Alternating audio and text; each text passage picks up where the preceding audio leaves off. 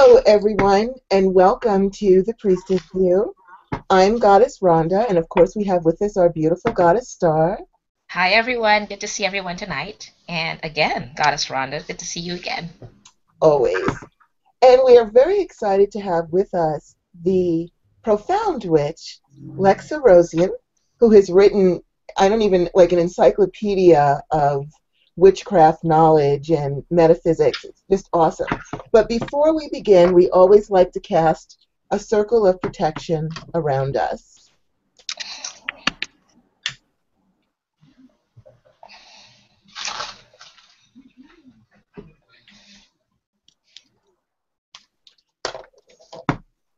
All hail, our lords and ladies of the East, our brothers and sisters, our brother and patron, the sacred element of air, namaste. Divine honor, love, joy, peace, and respect to thee, my lords and ladies. I charge thee with claws, a barrier of protection, through all of our walls that face your direction, from corner to corner and end to end. Let peace and protection reign herein. Thank you, and so it is. So So it would is. it be. So mote it be. All hail our lords and ladies of the South, my brothers and sisters, my brother and patron, the sacred element of fire. Namaste. Divine honor, love, joy, peace, and respect to thee. I charge thee, please cause a barrier of protection through all of our walls that face your direction. From corner to corner and end to end, let peace and protection reign herein. Thank you. So mote it be. So mote it be.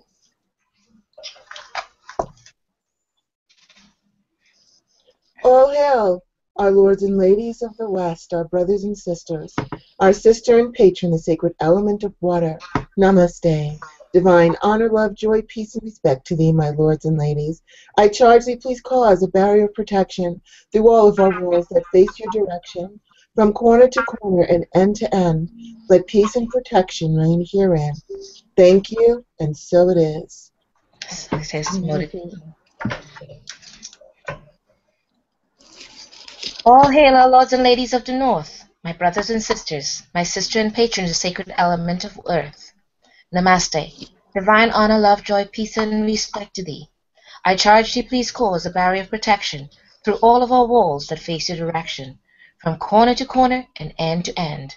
Let peace and protection reign herein. Thank you, and so it is. And we now bring down the divine white light from the sacred source of all well-being and fill our spaces with peace and protection always. So it is. So mote it be. So welcome back, everyone. Thank you once again for joining us at the Priestess View. Again, I'm Goddess Rhonda, and we also have with us always our beautiful Goddess Starr. Hi, everyone, again. Thank you, Goddess Rhonda. You're welcome. And we also have with us the awesome Lexa Rosean. She is an American Wiccan High Priestess, an initiated Neo-Gardnerian Minoan Witch, dancer, and writer. Also known as the very way cool Supermarket Sorceress. She is the author of The Supermarket Sorceress Spells, Charms, and Enchantments Using Everyday Ingredients to Make Your Wishes Come True. Easy Enchantments, All the Spells You'll Ever Need. Enchanted Evenings.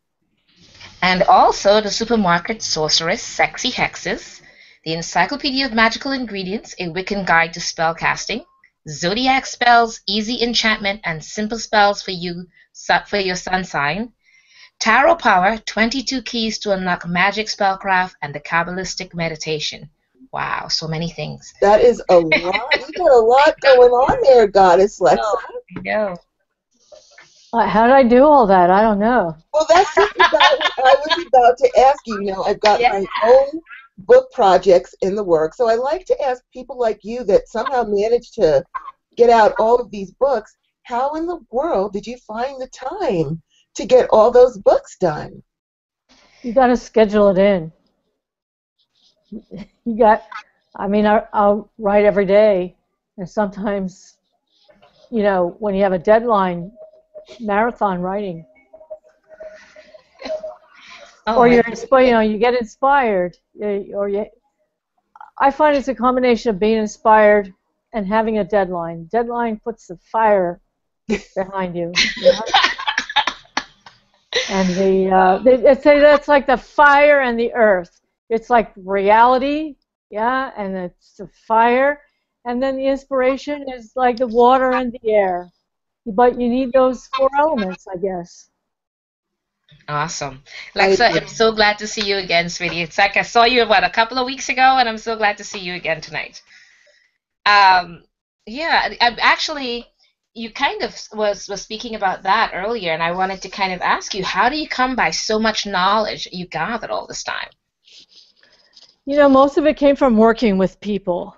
Uh, I don't know if you know the story. I actually tell the story, and the supermarket sorceress we just put out a 20-year revised edition, and it's okay. a- available now in hardcover and ebook. I'm not hardcover, but print, Mhm. softcover print and ebook. It's on Amazon. It's on Barnes and Noble. Also Cosimo, which is the publisher.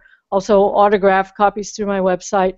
Um, but it's revised and you know sort of modernized. Some things were out of date, and uh, also there's a new spell in every chapter, and there's a whole new chapter of the book. Wow. Okay. So, but that book, it was in 1995, and I was asked to be a guest on the Joan Rivers show. Goddess Wow. bless her soul. You know, she Wow. was, she was Wow. very, very Yeah. witchy. Yeah, and um,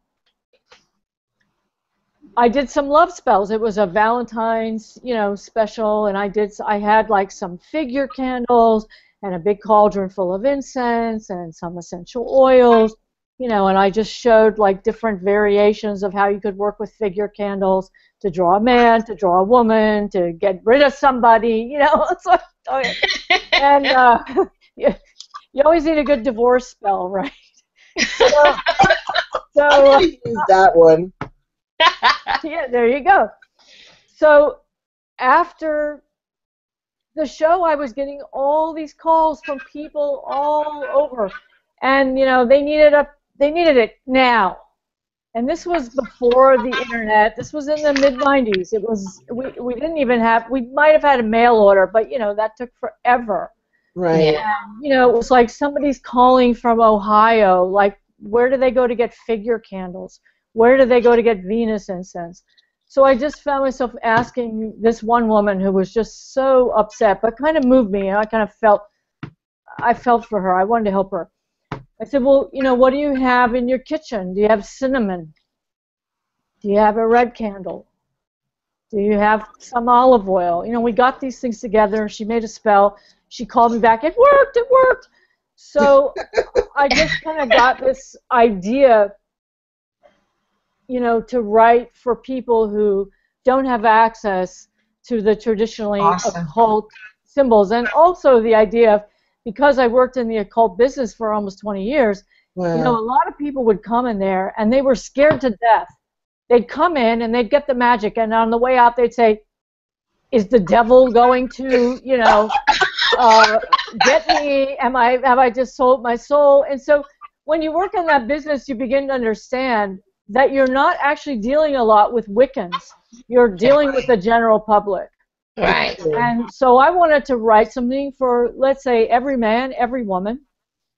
That wouldn't, that wouldn't be scary, but what, that would be effective, and to explore the idea of just the magic in food and basically everyday ingredients. Because my theory is is that the ancients, you know, when we look at these medieval or even older book of spells and we see these strange ingredients, these were not strange to the ancients. They were Right. everyday ingredients that they had on hand. Right. So I wanted to somehow find an equivalent. Right. And, right. and and the feedback from the Wiccan community was really positive too. And Yeah. and, th- and because of the Wiccan community, I found another way to look at it, which is that when we work with say candles and incense and oils and altars, it's all external. But if we can work with food magically, we're creating an internal as well. So of course, doing both would be the best of all possible worlds. The Yeah. internal and the external. Right. Right. Absolutely, absolutely. That's actually something that in Hinduism they embrace very strongly when you put your offerings out for your ceremonies.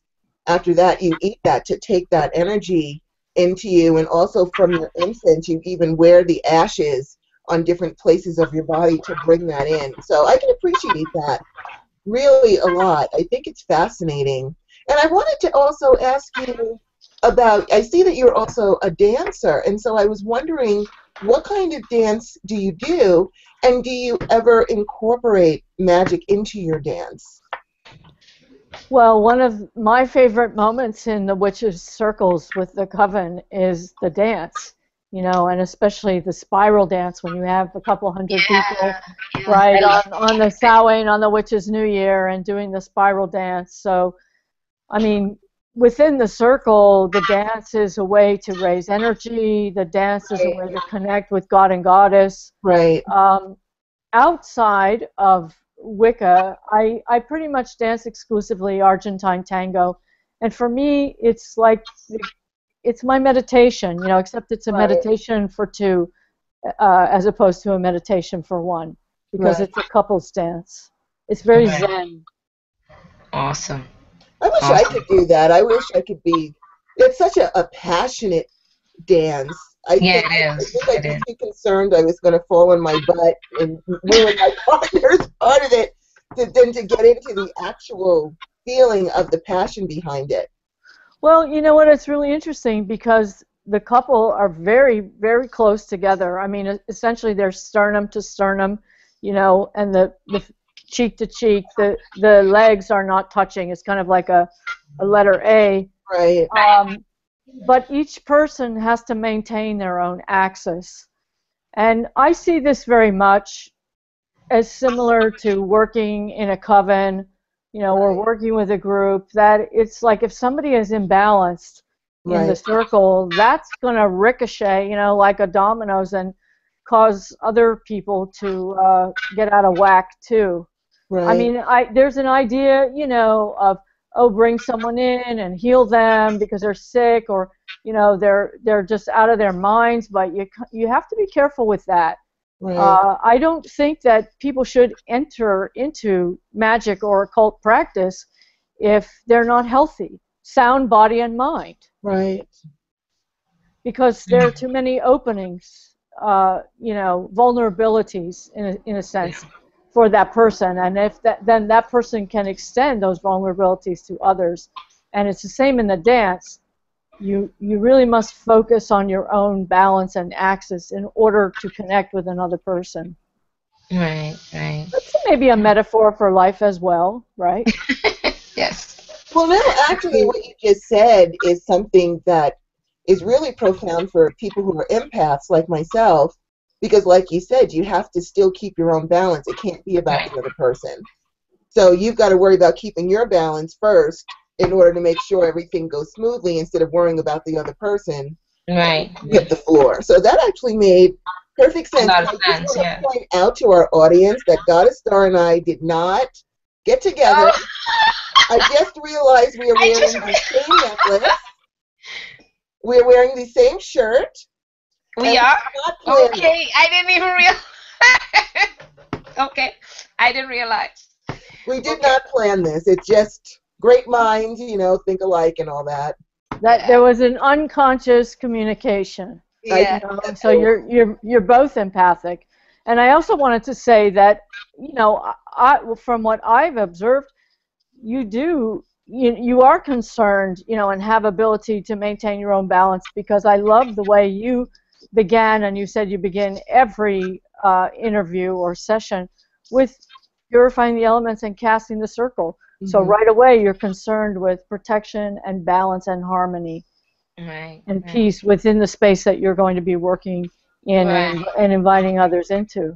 Very true. That is just the same principle.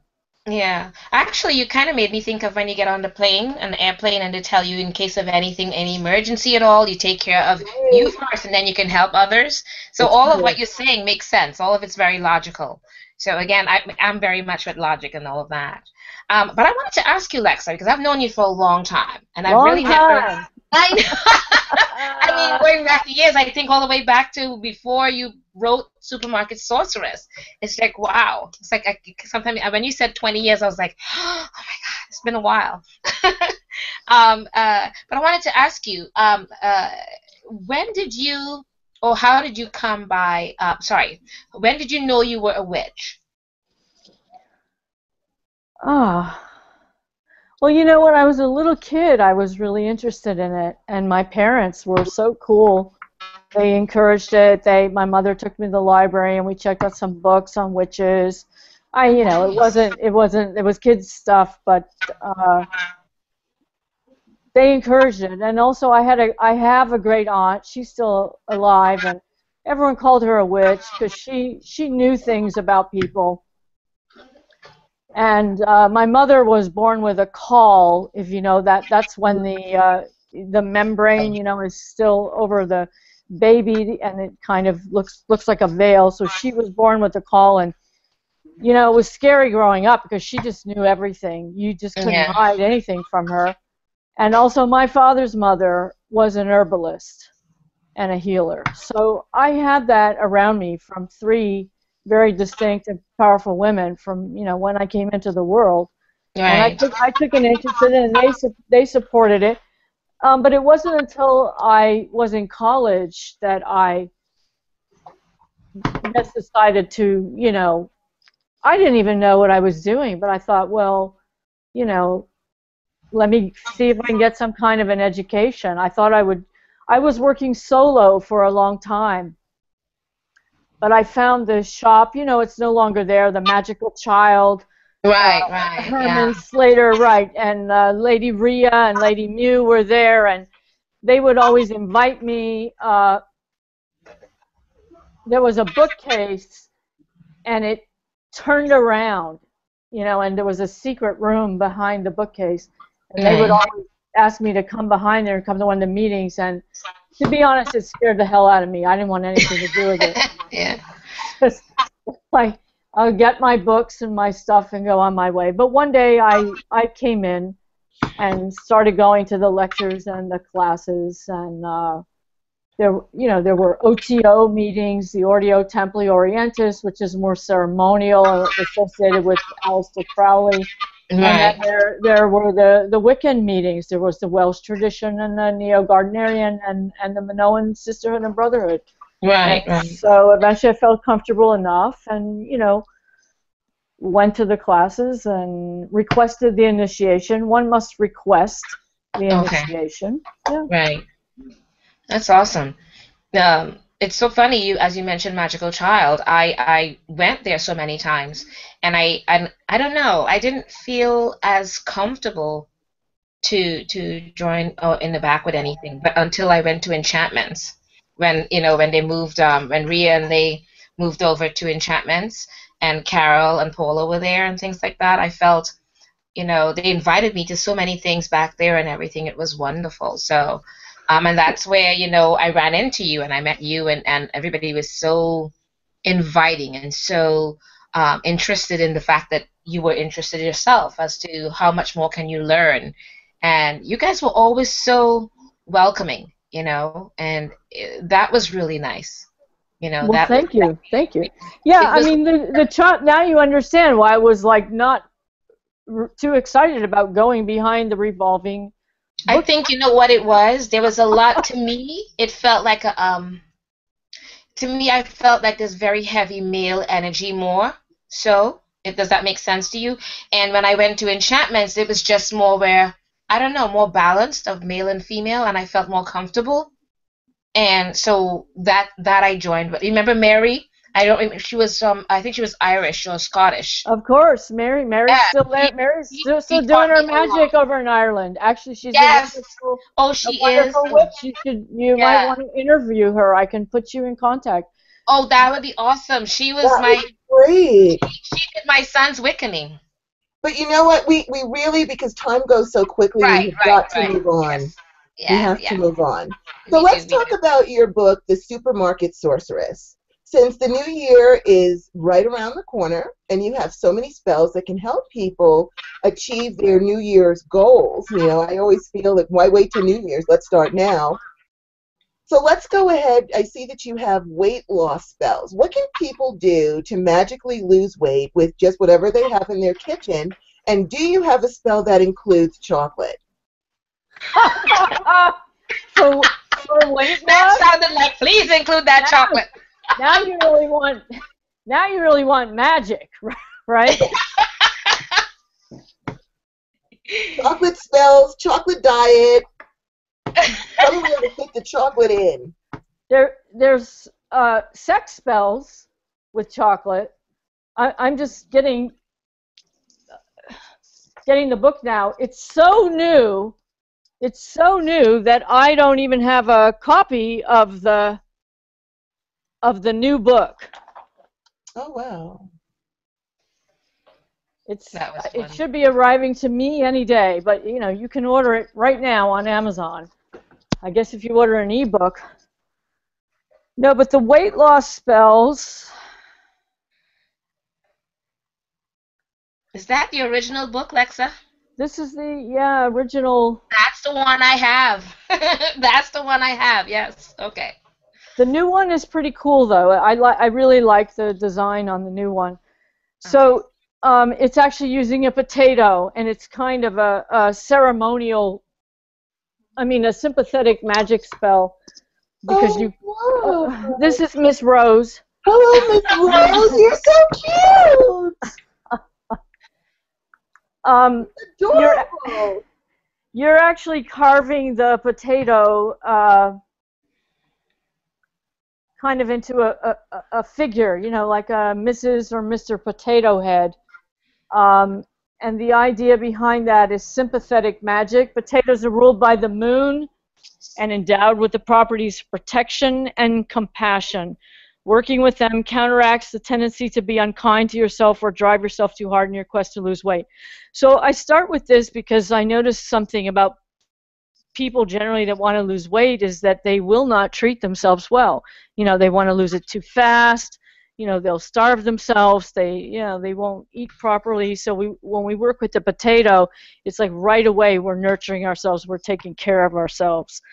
Um, and so what you're going to do with the potato is make a poppet, which is, you know, an old form of magic known as sympathetic magic. And um, you place a lock of your own hair on the potato to create a magical link between you and the doll. Uh, using a knife, you mark the potato doll with X's in all the places that you want to slim down. And you Oh, create a mouth in the potato using anise or licorice seeds. Anise is a natural appetite suppressant. By the way, I notice in uh, the health food store across the street from me that they have uh, a chocolate with anise seed in it. Uh, Ooh, wow. There you go. um, and basically, you keep the potato doll until you reach your goal. And I also re- recommend that you work the spell weekly and set a different goal for each week. So, for example, if you want to lose 30 pounds, 50 pounds, you know, I wouldn't put that the goal on the first potato. Like I would put five or seven, you know, and accomplish that or get close to that, and then repeat the spell and keep working that way. Right. right. Um, as far as as far as chocolate, this is usually used uh, to in spells to uh, raise the libidinal energy. But uh, for so for sex spells, but chocolate actually can also be used um, for spiritual purposes as well, like the the raw form of it, because Right. it can it can bring visions. Awesome. Awesome. Excellent. Any And- other tips you have with chocolate, please feel free to let me know. please. Okay. so I was gonna, I was gonna ask her what well, kind the of what best kind the of best chocolate is dark chocolate, and actually, if you're trying to diet, you would want to eat dark chocolate, not milk chocolate. Right. Okay, that makes sense. And and I was gonna kind of ask you what other kind of spells can be found in this book, but maybe um you want to say something regarding more chocolate spells. Maybe that should be my next book, chocolate spells, oh man, you I'll dedicate so it to- fast. dedicated to Goddess Rhonda. Yes. I will be the first one online to buy that book. Okay, I'll, I'll start working on it. Um, I'll just go through the set. There's a section on health and beauty, which starts with weight loss. You know, spells to look magnificent, f- spells for longevity, to cure insomnia, to break a bad habit, uh, to relieve stress, to ward off uh, the flu uh, or the common cold, which is a good one for now. Yeah. Uh, the the next chapter is obstacles and enemies, so I'll leave that to your imagination. Uh, then we have sex, love, relationships, and marriage, fidelity and infidelity, protection and house blessing, dating and entertainment, prosperity and success, children, luck and legalities, work, and spirituality. And the new, uh, the new chapter has to do with the eight uh, Sabbaths and a Oh, spell sort of for each point in the year. That's awesome. That's awesome. That's awesome. And what kind? I know you talk about the kitchen ingredients. Can you just go over like some of the common kitchen ingredients that would you would call for within your spells? Well, I'm just going to open the book to any page, and I'm opening to vinegar, red pepper, kitchen matches, a small candle, and nine pennies. You can do a very powerful spell, okay, with those ingredients. I'm not going to say what it is. They'd have to buy the book. Absolutely. But here's the idea. Here's the here's the idea behind it. The idea behind it is that every single thing on the planet uh, has an energy about it, and just like every person uh, has a planetary assignment or an astrological assignment. How, how do we know this, or how do we figure this out? Some of them are just known. Um, through mythology. For example, the orange. There's lots of stuff written about the orange blossom in connection uh, with Juno and Jove, or Jupiter, right? And and and uh, Juno. It, it's it was the, the the floral bouquet of the marriage. So we know that this is a, a flower and a fruit of love. So as witches, we believe that you know, in the same way, science is telling us that oranges hold vitamin C, contain vitamin C. Probably no one's doubting that. Oranges also hold the vibration of love, of committed love. One day, science will probably, you know what, prove that. Uh, but but for now, it, it might be, you know, having to use belief or imagination. Um, so there there are many foods, especially the herbs, that through the lore we can we can we know you know who they're what god or what goddess uh, they're identified with. Therefore, what planet? If they're identified with Aries or Mars, so we know. So they're assigned to you know uh, the planet Mars, um, and say if it's something like cayenne pepper, yeah, which is associated like you know you use it to clear the sinuses, it affects your head. So we're going to say that's an Aries. That's in herb of Mars and Aries, as opposed to Mars and Scorpio. Although in the later astrology, Scorpio was reassigned to Pluto. Right. So we know about the properties of the, these things through the through the lore, but we can also figure out and assign them by what they are, how they smell, how they feel, what they look like, what they do, what their purpose is. So this is a lot of the work that I did because some of the work was researching because it's there. The information is there. You know, it's just Right. not wasn't put together in this way. And um, some of the work was just intuiting essentially and you know making decisions about things well you know this is uh,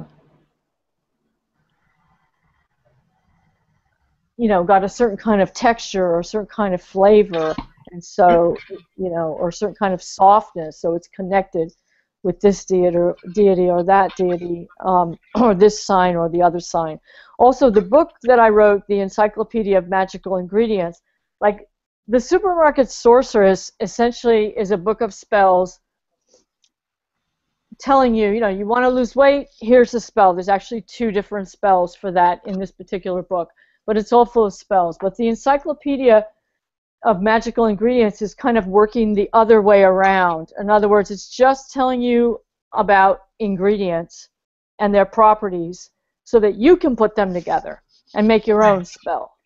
Right, right. Or, That's great. or it may just be that you know you're craving peas, and so maybe you want to know why. So you look it up and you see like, ah, okay, you know, that peas are very Venusian and they also literally bring a vibration of peace. so. So you're craving peace, also, you know, relaxation. Exactly, so. exactly. Awesome. And let me ask you, with the holidays coming up, and with that comes a lot of expenses, you know, things kind of get expensive, especially in New York. I don't know about anywhere else as much, but what supermarket ingredients can be used for a prosperity spell? Oh, there's so many. Um, I'm gonna look up at what I what we actually actually if you just eat a lot of green leafy vegetables, mm-hmm. especially beginning on the new moon, you will draw money into your life. That's, That's interesting because back in the olden days, they used to call cash lettuce. I know I am dating myself very badly, but they did. They called it lettuce. Oh, so I didn't and, know well, that. and there's a reason, but it has to be the dark, the dark one. Yeah, the, the romaine. The romaine, the spinach, the kale. Also, yams. I have a spell with yams that help you to save money. Oh. All, all the root vegetables, any of the root vegetables are really good for finances, but what they help to do is to ground and root. So those are about holding on to money. Which you know what? That's probably the hardest thing, especially yeah. in New York. But you know what? Maybe everywhere is you know like making the money is not necessarily uh, as difficult as holding on to the money. So we would use yams, we would use potatoes, anything that we consider a root vegetable uh, for that. There's a sweet spell to eliminate poverty. So this is like you know like a lot of times people just kind of feel like they got to make money, they got to make money. Uh, I tend to like to work spells for increase during the waxing moon, meaning new to full moon, or even during the waxing sun. So right now we're in a waning sun. We're also in a waning moon. After December 21, the sun will begin to wax, right? So this is like great for you know the dark times, and you need uh, sugar, salt, rice, and an open safety pin. This is based on a New Orleans voodoo formula, and this spell will ensure that you always have the staples in life. You fill a bowl with equal parts sugar, salt, and rice, place an open safety pin in its center, keep the bowl out in the open to eliminate poverty. This is a great spell, and it, and it works. You know, and it's simple too. That was awesome. Yeah. I try to make them as simple as possible. People don't want to do a whole lot of well, you know, I guess in thinking about it, if I think about all the books I've written, I guess there's certain things that people want. By the way, all these spells were spells that have been worked, not for me. I get asked this all the time. Did you do all the spells? I'm like, what? I don't need all the things in here, you know. Mm. but all the all the spells were worked with the hundreds of clients that I've worked with over 30 plus years right. you know, that were designed for the clients, and the ones that were I got successful reports with, I included in the books. But sometimes people ask for really crazy things, and so I guess there are some spells that I would consider very complex. Somehow I made them very complex when they were asking for uh, very complex or what we might consider sort of unobtainable Look, like the spell to win the lottery. It's not easy, okay? It's not an easy spell because that's not an easy thing to do. What you have to understand about winning the lottery is that there are a hundred thousand other people petitioning along with you. At least a hundred thousand. At least a hundred thousand, right? Maybe a million. Right. So, so what are you gonna do, right, to make yourself stand out to the gods of luck? Right. That makes perfect sense. And I also wanted to ask you, I just had to ask about the date from hell spell. I think we've all had one of those in our lifetimes. And yes. I wanted to know what does that encompass and what is how is that going to benefit us?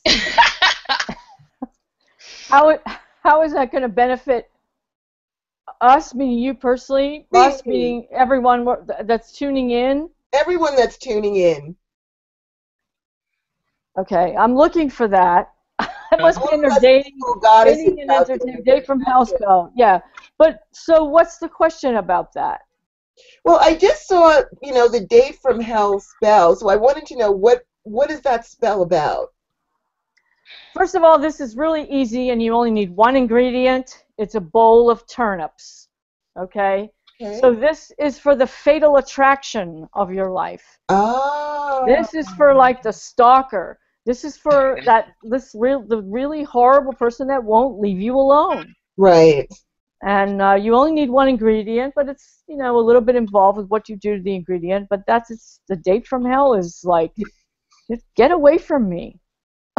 I love that you have that. I saw that. I was like, I have to ask about the date. Short, simple, and to the point. I love it. No, I think in this world of you know like uh, I don't even know Tinder. You know what I'm saying? And all the internet dating. The, I, Yeah, there's there's a probably more. There's a lot of that, right? It's like you Yeah. kind of Yeah. don't know who you're right hooking up with, and sometimes Yeah. people fixate on other people, and uh, it's enough. You know, go away.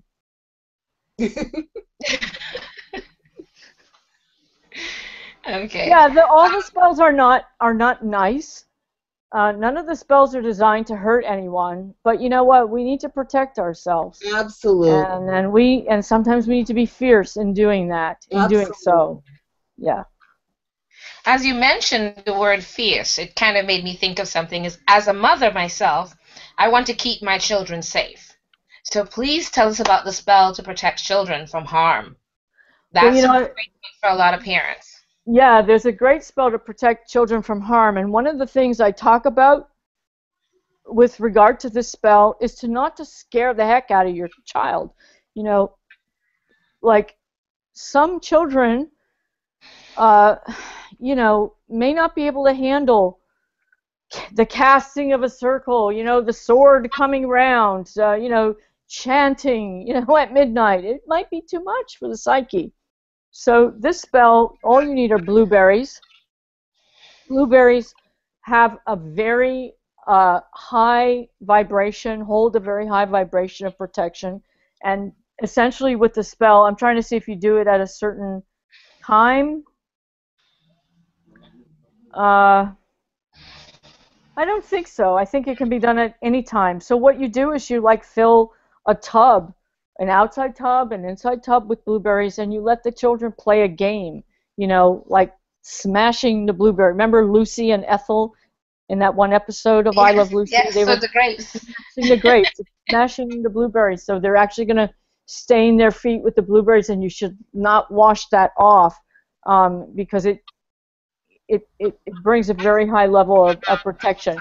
And you can also feed them the blueberries and put them in their cereal. But I actually recommend that you let them paint their faces or you know just get crazy. Like The- yeah, because the idea is like to let the children raise the energy, but let them do it in a fun way, not Right. not in a way that might be frightening to them. That is Right, true.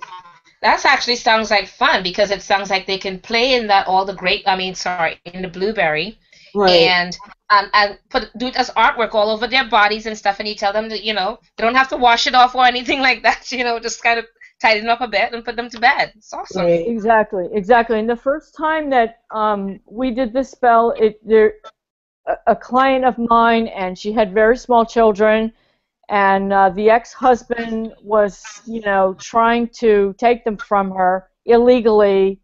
Uh, so it, you know, it wasn't even a matter of. Um, I think there was already like an order of protection out on him. It, you know, it because essentially, at, at sometimes in life, it just comes down to, can I go to sleep at night? Do you know what I'm saying? Or is Yeah. somebody going to break through uh, Right. the house and snatch these kids up? And um, she did it with the kids, and nothing happened that night. And like within the months that preceded, the the ex just disappeared, like he left the country or something and gave up on the. Yeah, it was Awesome. totally That's awesome. So, awesome. but I mean, that's a very, very extreme case. you Right. know, but but so if it worked for that, you know, it can work. Maybe you just, you know, don't want them. Uh, I don't know, you know, getting hurt when they're out playing. Although, do kids still go outside to play? I Yeah. have there was just a sense they're all in their, uh, you know, yes. That's Yeah, true. the Xboxes all oh, different. yeah, right, right. So I wanted to ask you, I also see that you have things in there to help women conceive. And I've had several women, they're over 40 and they've never gotten pregnant, now they want to.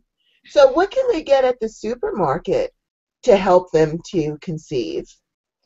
Well, go now because what you need is a pumpkin, and that's just, that that yeah. Well, they're around now. They're not around all year. Right. Yeah. So one of the most powerful spells is using a pumpkin and petitioning the goddess Oshun or Ochun, and uh, so it's a it's a seasonal thing. You want to do it in in the fall. Uh, Wow. yeah, because I don't think it's that easy to find pumpkin All the any time. other time. Yeah, all the No, time. it's not. Mhm. Does this does the size of it matter? I mean, it doesn't matter, right?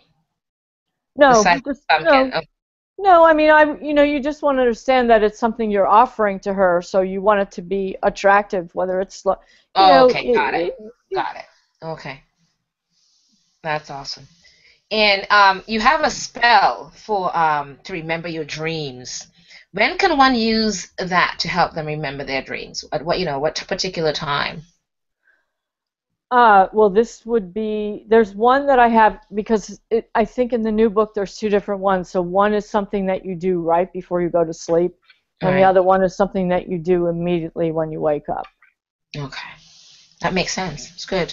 So you can kind of recall, kind of a thing. Okay. Yes. Mhm. Mhm. You know, I also, uh, there's a lot of people, including myself, who suffer from seasonal affective disorder. And I saw that you have um, a Chase Away the Winter Blues spell. Because I already know that some people are already starting to get depressed. It's getting darker earlier. I got so depressed at 4:30. I couldn't believe it. Yeah. I don't have this. I don't have this particular thing, but it's the first day, you know, and it was like Right. fourth or dark, and I just I I realized I questioned the same thing last year, like why why do we do this again? Clock setting change? Why No, I don't understand. is it to just make everyone feel bad? But um, yeah, the, the, I wrote a spell for that because I know that a lot of people suffer with that. That's in the new book. That's not in the old book. Okay. So, but you had a further question about that, or just just if you had a suggestion of what someone could get or drink or eat, anything that would help them to deal with the the Oh, darkness coming over them. do you have the spell in front of you? Nay, I don't. Okay, hang on, because I'm gonna have to.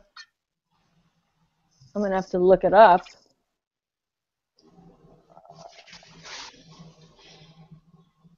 Or even if you just had a suggestion off the top of your head that's to bring sunshine in, like maybe more orange, because to me oranges represent the sun to me. So Yeah. I live a lot in oranges and wear orange oil and things like that to help me. What I actually tend to do though is work as well, and this is not the spell, but I understand what you're saying. Um, but what I tend to actually do is work more with lemon because lemon has a, a purifying quality. So it's a little bit it's a little bit different Mhm. um, than the orange. De- definitely, orange brings the happiness. Mhm. Um, but lemons kind of wake us up and, and sort of open up the light within us. And specifically, clementines, or what we call the Christmas orange, Mhm. The little baby. um, yeah, is actually, and they're really easy to peel and they're sweet. Uh, is one of the best things to eat in this season Right. uh, to wake yourself up. right. Uh, you know, to to bring some sunshine in, Right. Right. and also hibiscus tea. Mhm. That's awesome. Awesome. And I think people don't uh, think of that. I don't know. What do you do? What do you? But see, you're a person who would probably turn to the spiritual right uh, or homeopathic remedies before. Like I hope people aren't taking antidepressants because they have this seasonal. Um, Yes, a lot of people actually do. A lot of people do take antidepressants. I found that, you know, I can't wait to start talking about your zodiac spells book because you are a woman after my own heart. I use the zodiac, I use astrology and all those things to help me. So what I do is I also will bring in energy, like I'll bring in the energy and surround myself with sun trine or sun conjunct Jupiter for Jupiter to expand that sun energy within me or around me. So I, I manipulate the energies and astrological energies that way as well. Oh, that's awesome. yeah, I mean, I, w- I certainly wouldn't want to discourage anyone from taking medication that needed to be on medication. Right, of course. But if it's something that it's affecting you, look, I'm telling you, I think we all kind of drop a little when it, you know, get it, when it gets dark. So right. so early. But things like taking a, a, a salt sea salt with fresh lemon scrub, you know, it's invigorating. It wakes you up. Eating, Right, right. eating the clementines, using hibiscus tea, obviously getting up earlier so that you can, you know, enjoy whatever light there is. I think a big mistake, if anybody's making it, is to allow yourself to sleep too late this time of the year. Right. A lot about it is just like shifting, you know, uh, shifting the the schedule so that you can catch the light. Right. Right. I found that when I took um, uh, a bit of um, lavender essential oil and rose essential oil, and I kind of blend a bit of that and kind of rub it and put it on me, or just on my hair or things like that, I tend to kind of wake up and get vibrated with it. So I don't know if that's part of some of the things that goes for other people, but I find that you know invigorates me and makes me kind of get energized and stuff. So And you know what? Here, here's another thing, and this is not in in this book, but another idea about this um, is that this time of year, I mean, we just celebrated the the Witches' New Year, you know, the Samhain, which is the you know Sabbath of the witches, and it's Persephone's descent into the underworld. So you know, there's also this idea of just joining it, just go with it. Yeah, that's Yeah. right. This is a dark time. yeah, Yeah, you know, this is You this know, journey to the underworld. What's you know, uh, what's down there in the dark? You know, what do you what do you got to sort through? Um, be with it. gotta deal with stuff too. You do have to deal with stuff, and everyone has to go through the abyss, and everyone has a dark night of the soul, and you might not want to scrub that away, you know what I'm saying, or chase that away, or cover that. You may want to descend and, and go into it and, you know, examine it and breathe through it, and then come up on the other side in December 21. Awesome. That's a great Awesome. idea. Okay. Um, there are hurricanes and cyclones and things like that kind of rearing their heads are everywhere kind of not right now. Um, and I'm sure there are some people that can really use a protection against hurricane spell. Would you please tell us a little bit about that? Yeah, I have that in the book.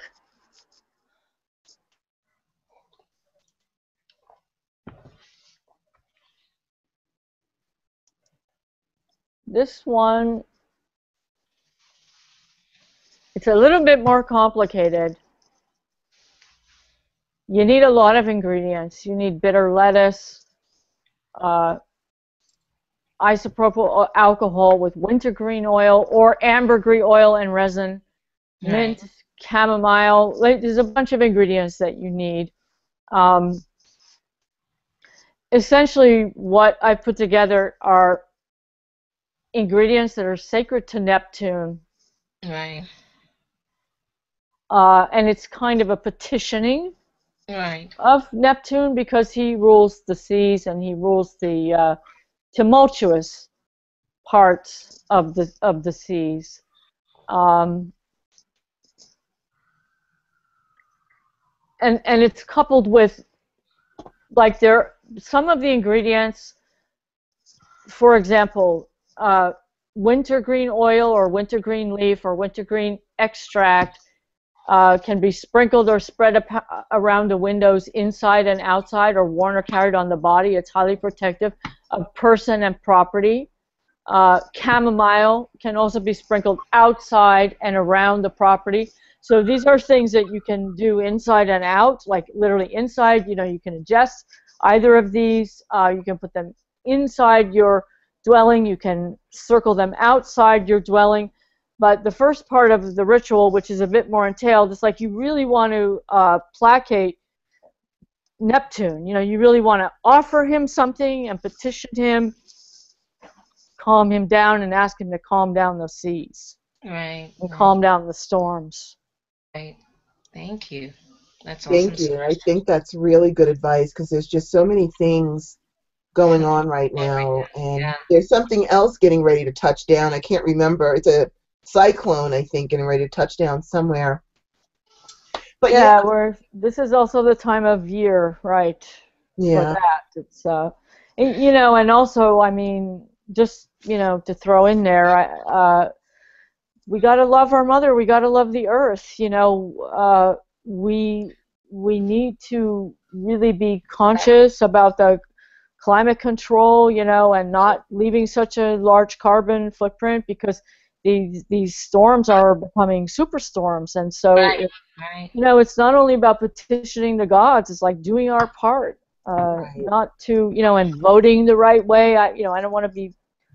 I'm not really, you know, my my writings, in, for the most part, are not political, but you know, there is there are some politics involved with this particular issue because it's like, you know, each individual person, yeah, can't necessarily control control, uh, you know, the, the huge corporate uh, polluters, but you can certainly vote, right, uh, right. for the parties that, that would keep them under control and try to make, make appropriate changes.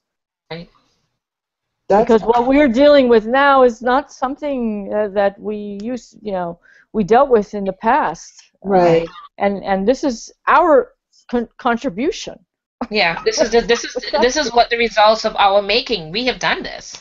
Right. Yeah. Right.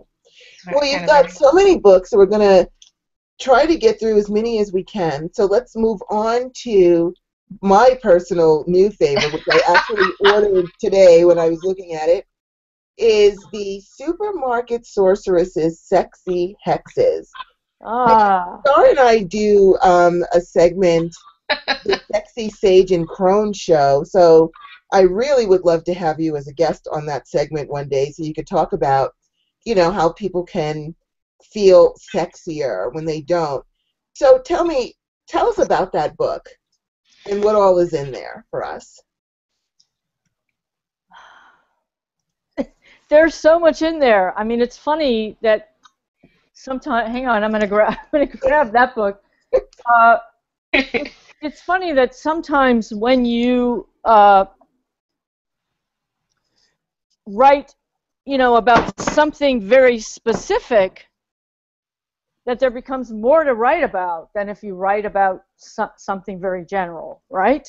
Mhm. Right. like the first book you saw there's like 12 chapters or something a little bit of this a little bit of that you know a little bit of everything uh, but when i was writing about sex there's just you know there were just so many so many different things. It, it, i mean it covers a lot. It covers romance and dating and attraction sex and lust love and glamour. Uh, there's a section of ba- of baths, different baths that you can take for beauty and for love. Mhm. Uh, it's called Bathing Beauties and Shower Power because I also understand. Well, from New York, you know, a lot of people don't have bathtubs, so you have to create a shower spell.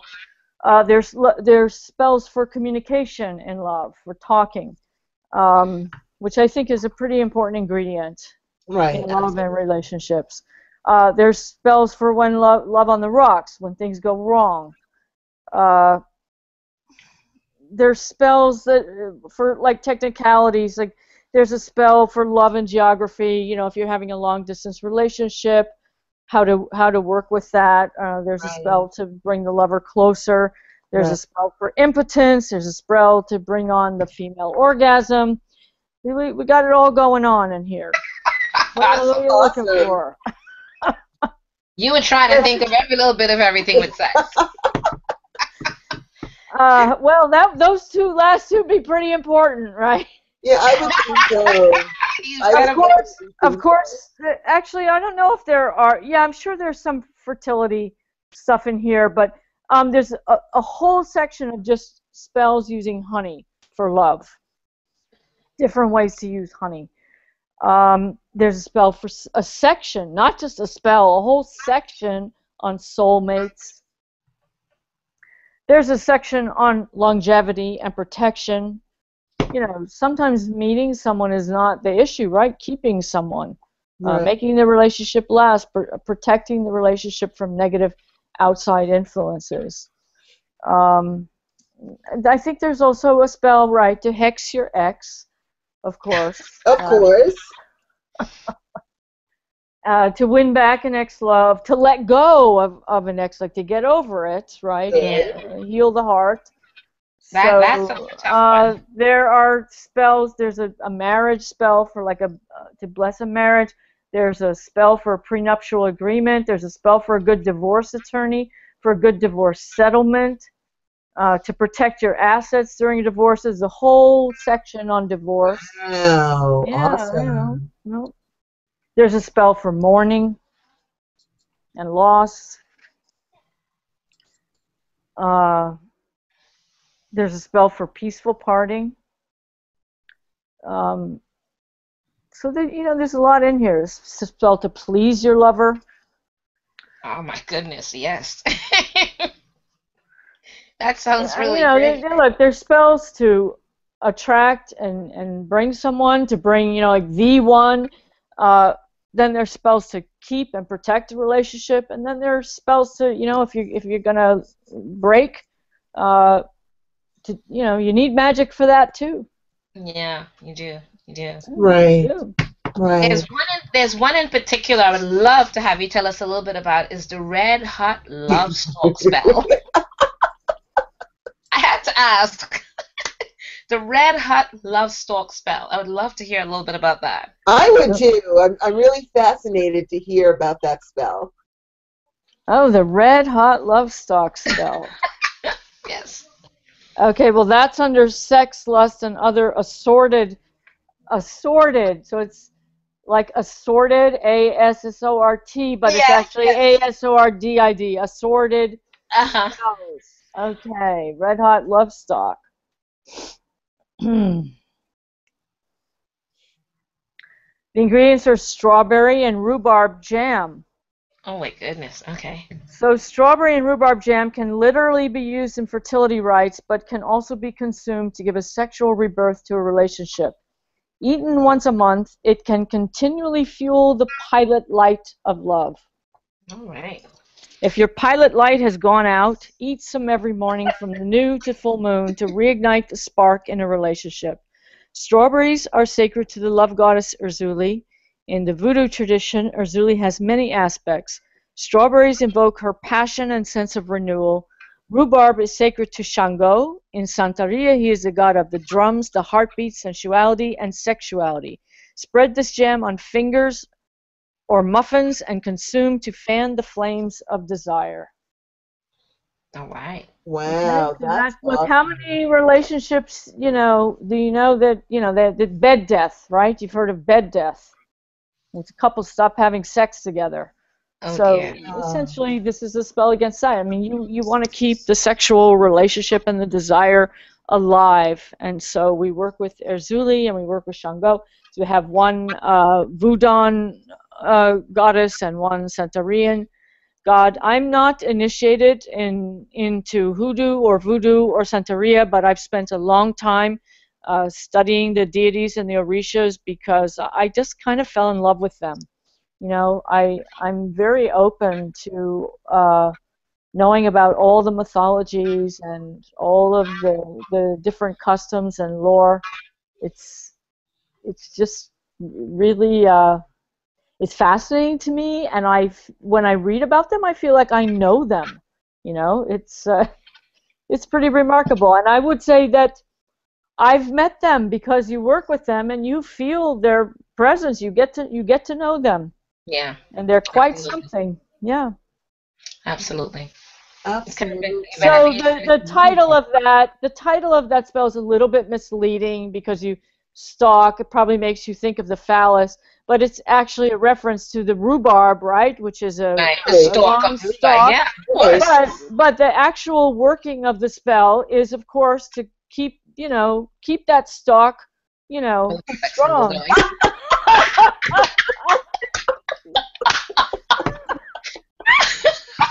Now that, that, now that you've explained it, I love that even more. Yes, that was very it kind of well said. like, um, you like said a that magical with Viagra. A lot of class. You explained that in a very classy way, and I really enjoyed that because it's true. I saw that spell. I was like, I got to learn about this red hot stuff and where I can get one. And Where you can get one. well, listen, you know what? They're, they're also probably now at the farmers market. That's another seasonal thing, by the way. The title, you know, a title like that is definitely going to, to get someone to buy the book. Because I looked, I was like, I need this book right away. And I ordered it. Like, I want a red hot stock, but where do I get one and how do I make it work? So I think that's really cool. Okay, Yeah. but there are other spells in the book that can get you a red hot stock, and once you have him, once you, once you have him, then use that spell, okay, to make sure that it keeps Yeah, keep it So that stock stays hot. Yeah, hot yeah, stays hot, hot and hard. yeah. You know, you know, it sound, you got to admit, it does sound like a, a magical Viagra of sort. You know what I mean? It is a magical Viagra of sorts, and there's other magical Viagras in there. And you know, it's interesting because I find that the witches, the witches are wonderful because they just want to do magic and spells all the time. Right. Uh, but I think that you know the the goddess kind of uh, instructed us to share our wisdom, right? To uh, with the folk, right?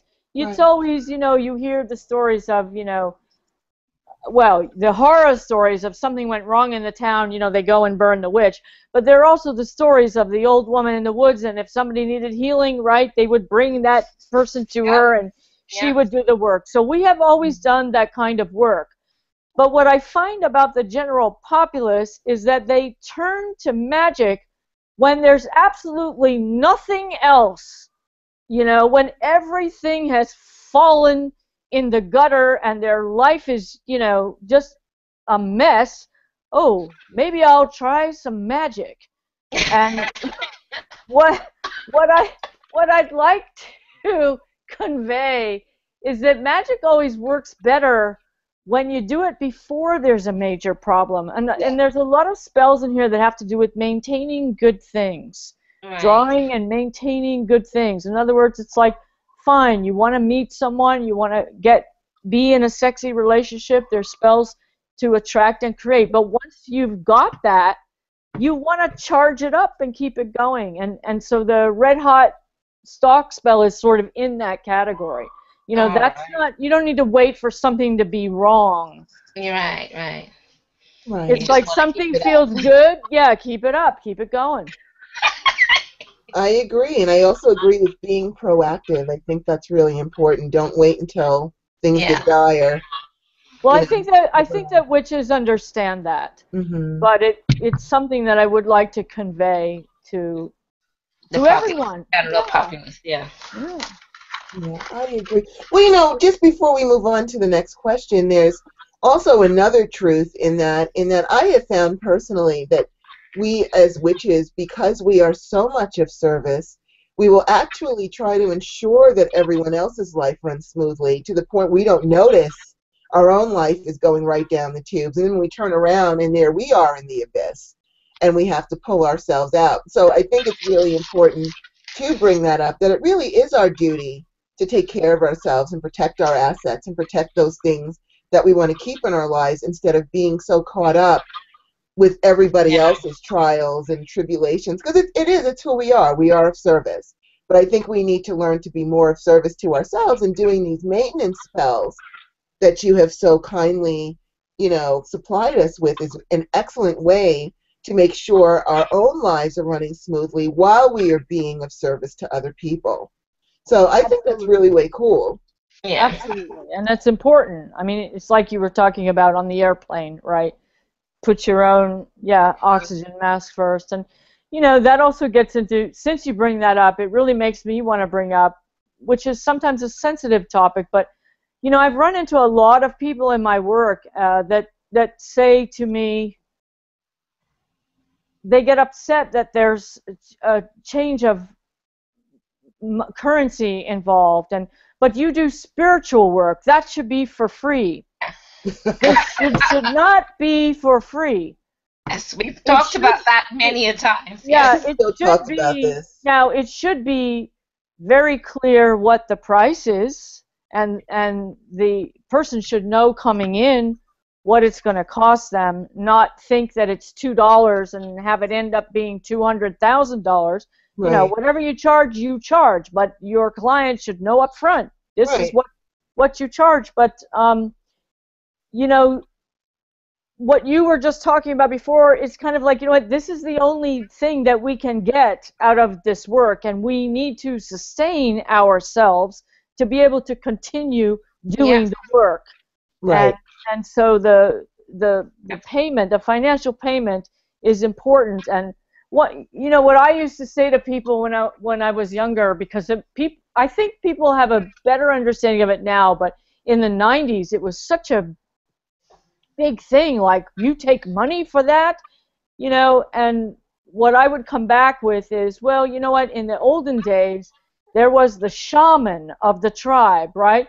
And the people would build him a hut and whatever they hunted they would bring him the best portion you know Yeah, of took the care of meat. God took care of him. So you know what? If you you know if you have a building with a nice apartment and you want to give me uh, the you know the prime property and have groceries sent over don't bother to pay me it that would be great. I'll be fine but we don't live in- that kind of uh, society anymore so yes we need to be paid with money with hard currency Yes, we've talked about this so many times, Oh. and you know, hopefully one day it'll sink in. But I'm also very curious about the long and winding road spell. I wasn't quite sure. I keep hearing that song though in my head now. It's a running loop that I'll probably not get out of my head for the next three days. Yes. But Tim, can you tell me what that spell is for? if i can find it i can uh, now you got me thinking of the song. Yeah, well, if I have to have it in my head, you need to have it in yours too. that's a good point now this is in the in the sexy hexes oh Mhm. yeah the long and winding road leading to nowhere spell okay okay.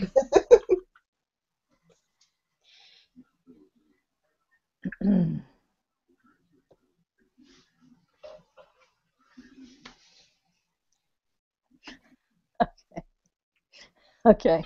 Well, I have a little quote uh, from Vladimir Alexandrov in the beginning of this spell. When she said she wanted a long courtship, I had no idea that meant winter in Siberia.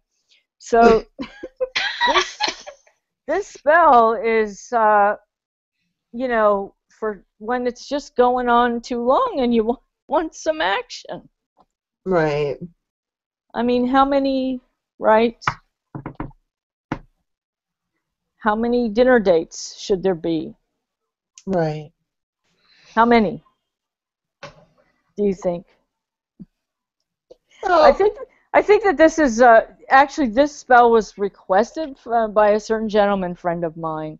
So, you know, he is just he just felt like the courtship, the courtship was going on forever, and he was kind of being strung along and and maybe taken advantage of. So, you know, Okay. Got it. and and it's one thing if a woman wants to take her time to get to know a fella. It's another thing if she's just you know playing it to get a bunch of free dinners, Right. right? I mean, come on, it's you know. So the idea of the spell is to to get to further, to not keep going down this long and winding road that's probably leading nowhere. It's I like see. either to find out that she doesn't really have any intention Entrance, yeah. um, uh, or interest, and or you know, uh, it's to make it progress uh, a Right. little faster. Right, right. Hmm. Hmm, not what you I- were expect, not what you were expecting, right? No, it- it actually it, it may not be what I expected, but actually it was it makes sense. You know, that's one of the things I was telling people about that I like about spells and witchcraft is that it's everything about it is so logical to me that you know it's awesome. That's why I love it. That's why I love it for what it is.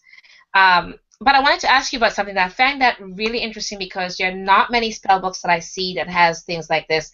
Because you have, with, with, with so many sexually transmitted diseases out there, it was great that you had a spell to halt them. Absolutely. So I would, you know, we were talking about it. We were like, "Wow, I would love to hear a bit of what your spell was to prevent STDs." You know, I think that was being so responsible on your part. That I, you know, it's amazing to hear. You know. Well, I think the most responsible thing about it is that is the warning in the you know in the in the very front before the spell, which is like you need you know to use traditional methods of protection like contraception or you know Contraceptive. Con- items.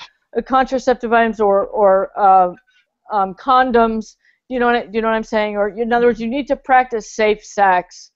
Uh, in addition, you know, or you need to be practicing safe sex before working the spell because actually, I think the term is safer sex.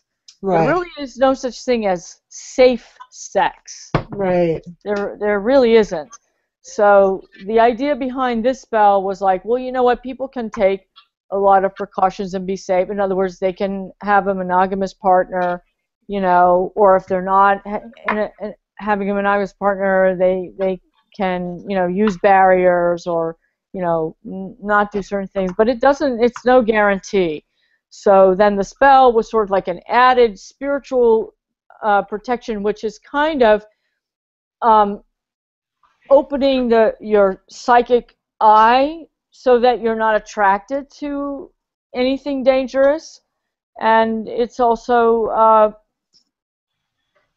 just basically like warding off evil because STDs are pretty evil. Absolutely. But one of the things I like about this spell because it illustrates like a really important point in Wicca, which is that you know we are a reality-based religion and we're an earth religion. I mean the ancients, you know, if they were going to do something, build, you know, a structure or building, go to war, marry, you know, they they they would never do anything without asking for the blessing of the gods.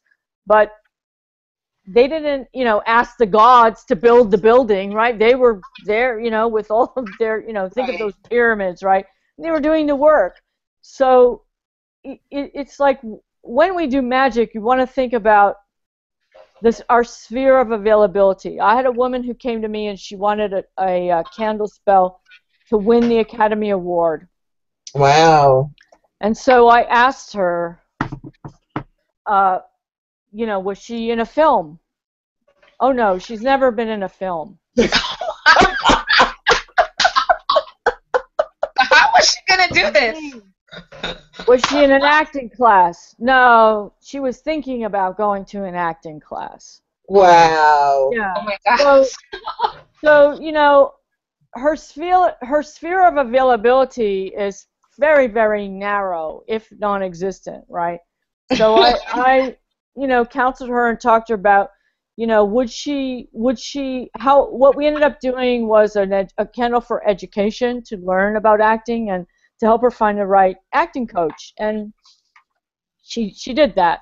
You know i don't know what happened after that. I mean, but i said you know come back you know when you're ready to audition and we'll make you a candle to get a part you know and Right. come we're going to come back when you're in a really fantastic film and uh you know we'll we'll make you the candle to win the academy award. So i you know i she, she never returned. But i tried to help her to increase her sphere of availability. I mean what what is she going to do with an oscar candle right she got, she has no possibility Right. Now, when I was working at the shop, Madonna used to come in a lot, and this was in the early 80s. And she came in and she got a candle. She wanted to get good reviews Right.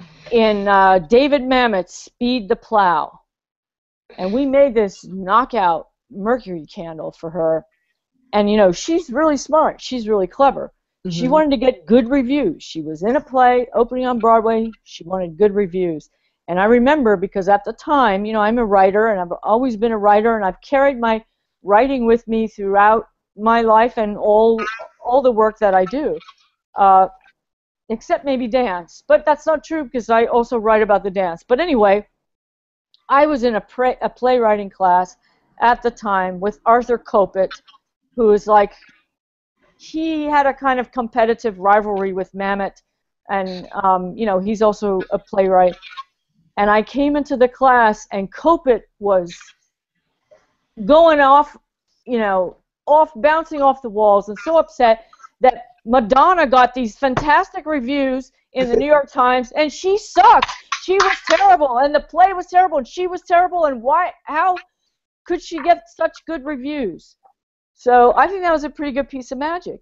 But see, she, she, she was smart. She knew what she needed, and she had a window of opportunity. I didn't see the play, so I can't judge if she was good or bad. And I also know that Kopit was so envious of Mamet that it would probably be, you know, hard to know how objective he could have been in that situation. But, but I found it, you know, I found it pretty amusing, and I, I just also think it's a good illustration to talk about the sphere of availability, which you could also think of as uh, the reality principle. Right. It's like when we were talking earlier with the weight loss and the potato spell. It's like don't make a potato and ask to lose a hundred pounds. You know, do, ask to lose three or five, and then and, you know, and keep You keep work going. from there, yeah. Yeah. I think that that's brilliant. And you know, technology seems to have taken over everything, including sex. And I saw that you have a cyber sex spell. So is that to try to bring a cyber sex partner, or how does that work? Yeah, I think that that is to um, sort of weed through the. Uh, Oh yeah. That that's a lot. It's a lot, you know. I mean, it's really hard. It's really hard. I mean, you hear on the television commercials, you know, they, you know, they met and now they're married. I don't hear that out in the street. No, I don't You know, it's all here like, oh, she didn't show up for the date. you know, they didn't even show up for the date, or it's just like misconnect and misconnect, and there's creeps, you know, and it's so it's kind of to sort of help you uh, sift through all of this uh, stuff to find someone that's actually suitable. That's mean, awesome. I think it's like you know, you what are you dealing with? You can't smell the person, you can't see the person, right? It's it's a lot. Uh, you don't even know if the picture up there is That's right. right. So Right. it's kind of a combination of protection and to sort of help zoom in, like a lot, you know, a lot of filters, so that Right. you could zoom in and find someone that would actually be compatible and attractive to you and suitable for you. That's awesome.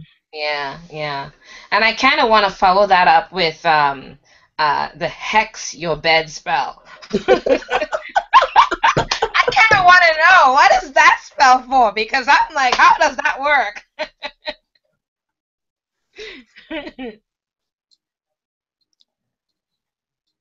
Alexa? Yeah, yeah, I'm I'm looking that up. Okay, no, for a minute there I thought I lost you.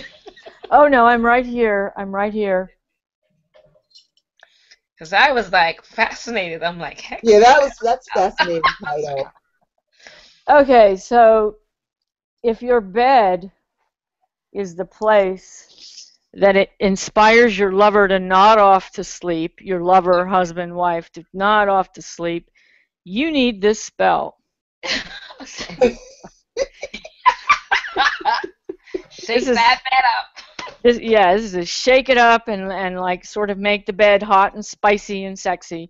So you're going to lift up the mattress, and there's um, there's a chant, and there are one, two, three spell, uh, three herbs that get sprinkled under the bed with the chant. And I'm, I'm not going to reveal this. You have to get the book. Right? Absolutely. Okay. Um, so that's the hex your bed. right.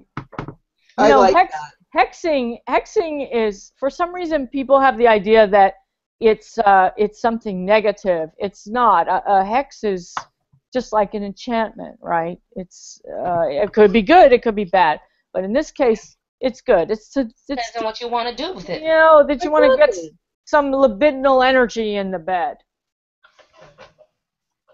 That is very, way cool. All right, so then, well, let's move on to your book, Easy Enchantments, All the Spells You Will Ever Need for Any Occasion. And looking through the table of contents, I agree with that. There is a spell for everything. You've got a great mixture of spells in there. Personally, because I live in an apartment and my balcony is open to the to the world and I do a lot of stuff out there. I would like to know about the nosy neighbor spell. You're talking about New Yorkers. get that book. to share that with us. That would be great because I'm sure there's other witches out there that have to use their balconies and you know, especially this time of year. Normally, there's so many trees around my apartment. It looks like I live in a tree house. But now the trees, the leaves are starting to fall off, and I'm going to be exposed to the world. So how do I keep Oh, no, and I've had that happen to me while I was doing a thing with the tree outside, and I was talking to the tree, and I blew some wish powder, and I turned my head, and there was my neighbor. She had a cigarette stuck like. What is she know, I was like, "Hi, how you doing?" You know, and I just went back inside. So I'm always exposed, and I don't care if anybody sees me. I really don't. I'm going to do what I have to do. However, if there is a spell that I can use to ward off my nosy neighbors, I would love to hear about it. Well, here,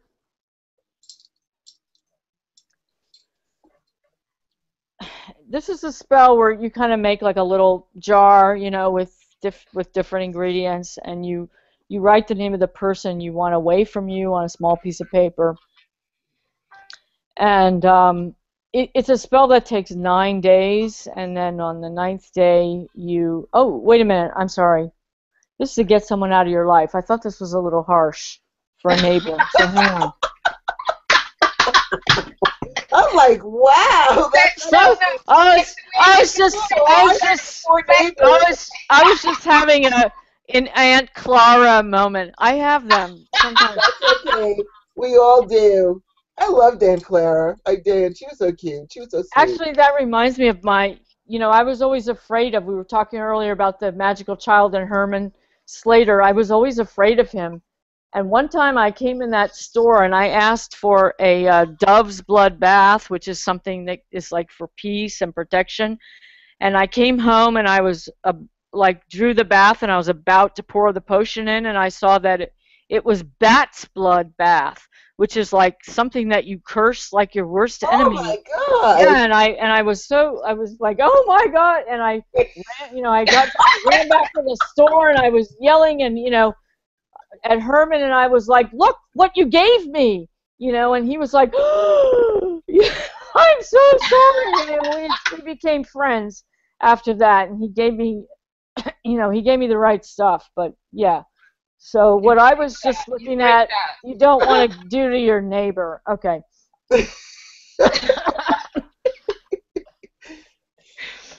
I mean, maybe if you want the neighbor to move. See, okay, so this is just about the busybody, right? To get rid of the busybody, and it can also it's a something that can stop gossip uh, and slander. Um, it's a complicated one, though. You there's several ingredients that you need. Uh, like you need to make a mixture of red wine vinegar, nine bay leaves, a teaspoon of cinnamon, and three pinches of salt. This is an old banishing formula from the Witch's Book of Shadows. Uh, and you also need a key from a sardine can to stir the mixture. And it goes into talking about the symbolism of that. And the idea of like you need the key from like the sardines because the way that we live, it's like we're all packed in, That's right? true. Like sardines. Uh, and you know, there's a lot of information about the key and the symbology of the key. Uh, but you have this, you hold this key and you stir the brew and you chant, "Busybody, keep away from me. Mind your business. So mote it be." Uh, and then you take a small mirror and you dip it in the brew and you place the mirror in a corner of one of your windows or by your front door. If you have a mirrored peephole on the door, you should splash the mixture over it. Uh, and mirrors deflect negative energy from us and also keep the people from seeing anything but their own business. So, if, in your case, you know, you would make this potion, mix it with the key, say the chant, and then you would like dip in a little mirror, and you would put that mirror out on on your terrace. Right. Awesome. Thank you. Mhm. Yeah, that's true. Now, every now and then, we kind of run into some of our shy witches, and hopefully some of them might be listening in right now. So please tell us about the wallflower to wildflower spell. Which book is that in?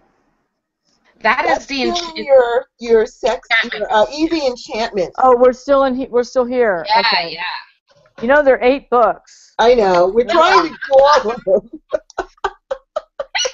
She's like, I'm not even sure which one it's in. Wallflower to wildflower. yeah.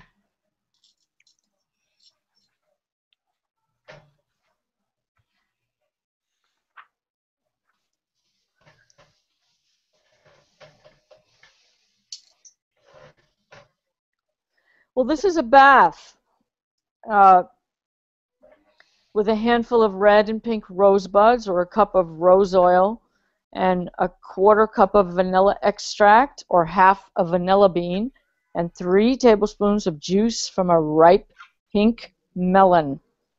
So this is to summon boldness in those who are shy and to remove inhibitions and increase delight.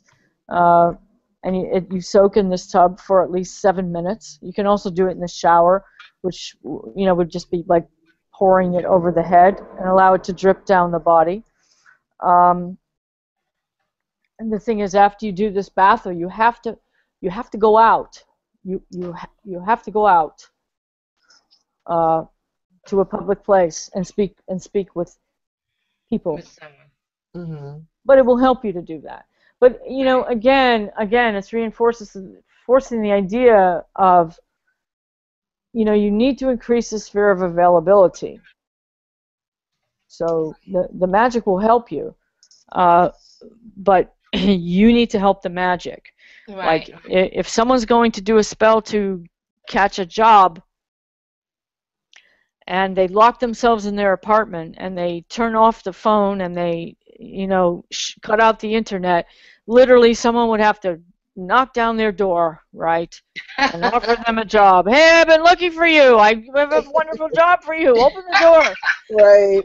how likely is this right Right. uh, but if you were to plug back in the phone, you know, and get the internet and search, you know, online for a job, and then supposing that you were going to get dressed, you know, and you were going to go out, you know, and go on some interviews or go by some places that you'd like to work and see if they had openings, all of these things are increasing the sphere of availability. And, you know, someone once said to me, well, if I'm doing all that, then what the hell do I need your spell for? Oh my And, goodness. and my answer was, yeah, I'll tell you why. Because there are people who pound the pavement for months and nothing happens. right. It's it- you know, it's like you need the spiritual uh, effort behind the physical effort, Right. Right. coupled with the It's, physical. it's kind of effort. like that whole idea of um, people asking you to do the spell for the lottery ticket to win the lottery, and then they don't go out and buy the ticket. So how could they have even had a chance in the first place? Makes no sense, you know. If you didn't buy the ticket, you can't win the lottery. That's right. You have to be in it to win it, as they used to say. exactly. You just said the words that they're always saying, and you know. I find myself doing that all the time. I'm like thinking I'm gonna go do that spell, and then I don't even go and buy the darn ticket. And I'm like, ah, I should have done this, you know? It's the same thing, basically. It is the same thing. Um, also the fabulous wardrobe spell. Is that a spell to help us to have the money to have a fabulous wardrobe, or we're enchanting our wardrobe? Because I saw it in the table of contents, so I just wanted to know what is the fabulous um, wardrobe spell? How do we make that work? Let me look that up.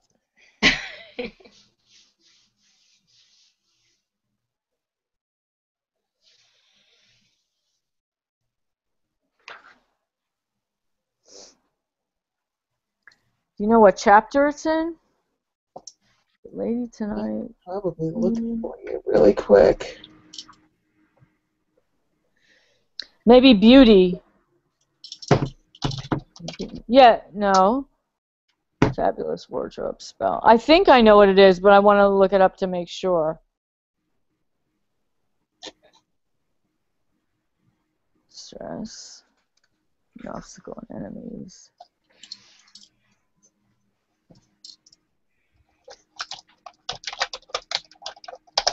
Let me know if you see what. Uh, I am. I'm going to find. I'm looking for you also. ah, I got it. On the town. Uh huh.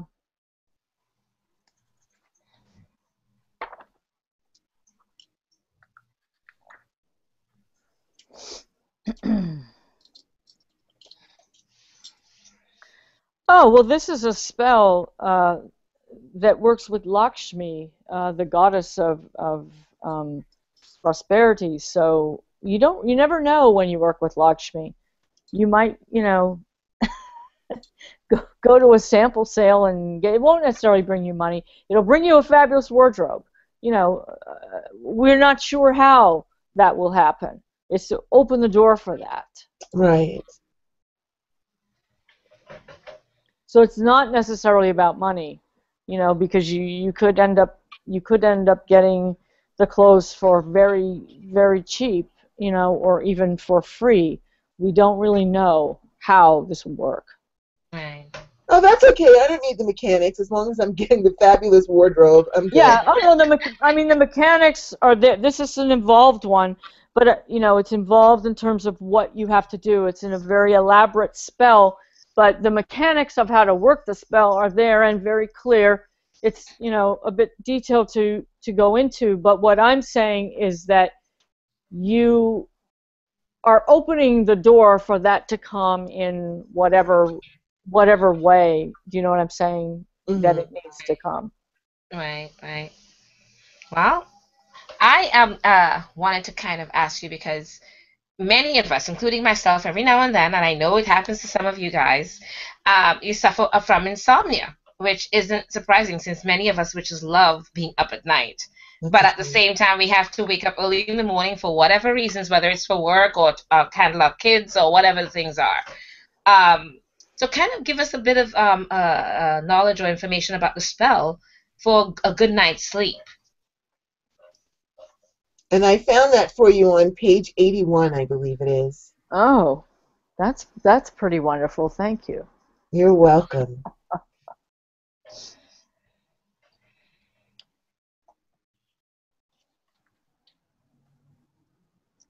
Is it the bedtime spell? Is it that one? It is the spell for a good night's sleep. So first oh. is the bedtime spell, then the silent night spell, and then spell for a good night's sleep. There you go. Got it. Got it. yeah, I mean, this is using some traditional herbal things like linden tea or linden flowers, lavender, which are used for a calming effect. It's also using poppy seeds. Remember in The Wizard of Oz? Poppy! poppy is an opiate, but um, we I mean, literally eating poppy seeds can can also induce sleep. But you know, we're using like the uh, from the market. We're not we're not using uh, any opiates. Actual, do you know what I'm saying? We're Yeah. poppy seeds. Yes.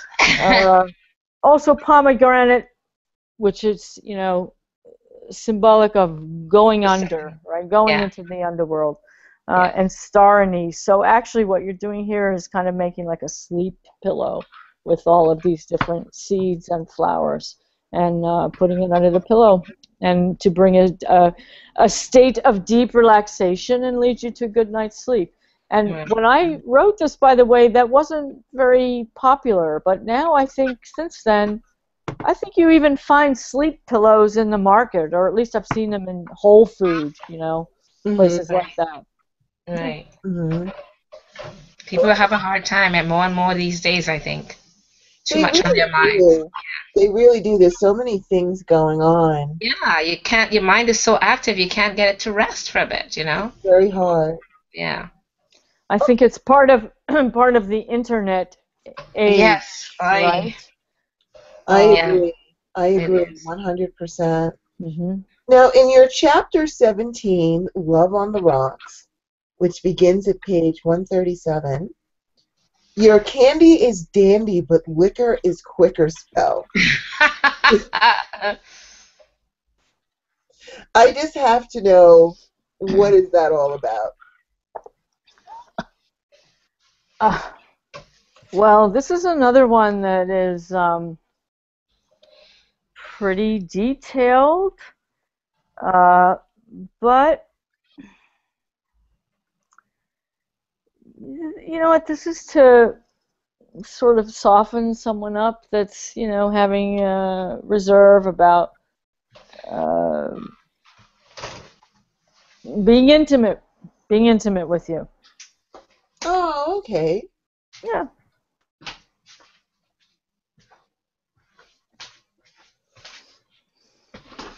That's awesome. You know, I was gonna try to get up quickly and sneak and Well, get this that is book of yours. also this. I want to clarify something though, because it, like you were talking before about the wallflower or the shy person. So I want to clarify that this has to do with shyness, but it's not. This is not about compelling or forcing someone to do something that they don't want to do. Oh, of course. yeah, this is just about someone who's a little shy, you know, making making a more relaxed feeling. Uh, Maybe maybe having them come out of their shell just a bit. yeah, it's it's sort of be. to uh, relieve like awkwardness. Right. Uh, you know, yeah. Good, good. Um, I want to kind of move on to your next book, the book, um, The Encyclopedia of Magickal Ingredients. And um, in that book, A Wiccan Guide to Spellcasting, um, that, that's the name. The entire name of the book is The Encyclopedia of Magickal Ingredients, A Wiccan Guide to Spellcasting. If you can give us a little bit about that book and what we can learn from it, that would be really great. I know I was trying to go get that book too. I have it over there, and I said I'll wait till you know. I'm gonna just pick it up over here.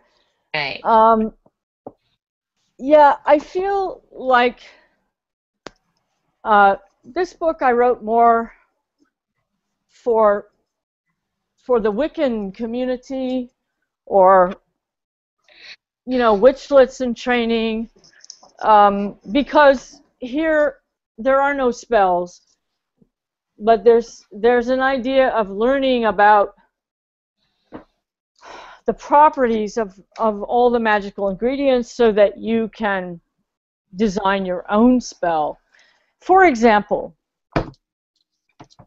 if someone asks you or me or any of us for a love spell, you know, or if you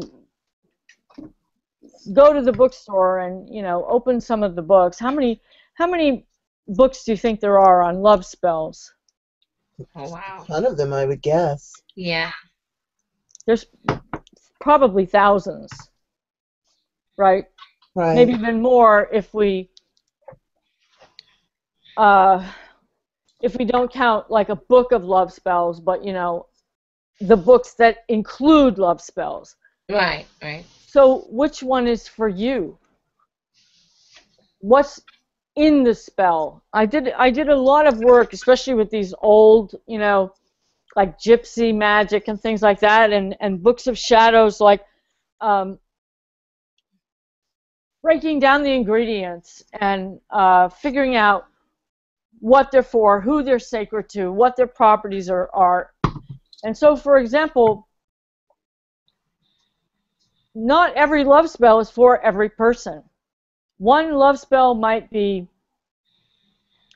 uh, very heavy on fertility ingredients, okay? Maybe there's like a young, you know, late teens, 20, 20 year old that wants a boyfriend. She's not necessarily ready to have a child. Right. That's not the spell for her right. or him, right? Right.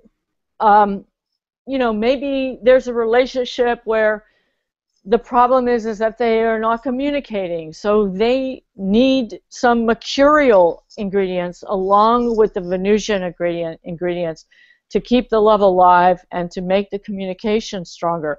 So the idea of this book is that you could make your own love spell and you could look up what ingredients do you know what I'm saying? What the ingredients are for.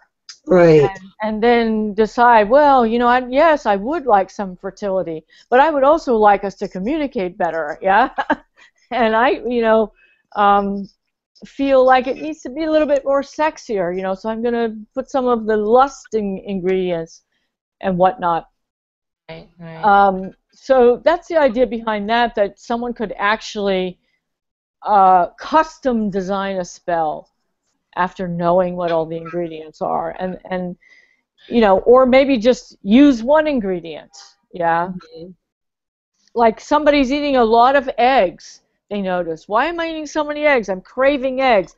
Well, eggs are are ru- ruled by the fertility goddesses and the moon. Um, eggs uh, absorb negative energy.